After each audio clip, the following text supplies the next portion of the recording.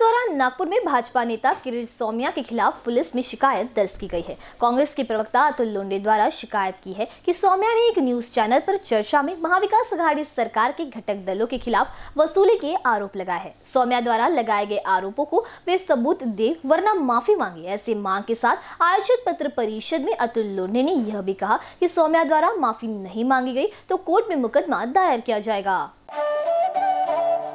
किरीट सौम्या द्वारा एक news channel पर चर्चा के दौरान महाविकास अघाड़ी सरकार के घटक दलों पर वसूली करने के आरोप लगाए गए, जो बेबुनियादी है। ऐसा कहते हुए लोंडे बोले, जो आरोप लगाए गए हैं, उसे सोमया साबित कर दे या फिर माफ़ी मांगे। जिस तरह के बेबुनियादी आरोप प्रतिष्ठित पार्टी पर लगाए जा रहे हैं, वो गलत है।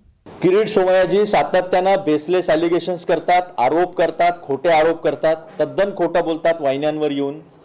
काल वाहिन्यांवर आमच्या दोघांची फोनवर चर्चा सुरू होती. त्या चर्चेदरम्यान ते असं बोलले की जे काही वसुलीचा पैसा येतो राज्य सरकारला त्या पैशामधला चाळीस टक्के राष्ट्रवादी काँग्रेसला जातं चाळीस टक्के शिवसेनेला जातं आणि वीस टक्के काँग्रेसला जातं. हा तद्दन खोटा आरोप आहे. पब्लिक डोमेनमध्ये येऊन एका वाहिनीवर एका प्रतिष्ठित वाहिनीवर अशा पद्धतीनं बोलणं इतर वाहिन्यांवरही ते बोलत असतात हे काँग्रेस खपवून घेणार नाही. आता तो पुरावा जो आहे तो डॉक्युमेंटरी एव्हिडन्स म्हणून आमच्याकडे आलेला आहे. आम्ही त्या वाहिनीमधलं मधलं ते त्यांचं संभाषण जे आहे ते रेकॉर्ड केलं ते पेनड्राईव्हमध्ये घेतलं. खोटे बोलणे खोटे आरोप करणे बाहेर येऊन सातत्यानं काँग्रेससारख्या राष्ट्रीय पक्षाची ज्यांनी स्वातंत्र्यामध्ये एवढं योगदान दिलेलं आहे त्याची बदनामी करणं. याच्या विरोधामध्ये तक्रार आम्ही दिलेली आहे.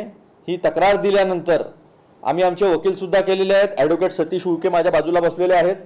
आणि यांच्यामार्फत आम्ही नागपूरच्या न्यायालयामध्ये, त्यांच्या विरोधामध्ये क्रिमिनल आणि सिव्हिल डिफेमेशनची केससुद्धा दाखल करणार आहोत.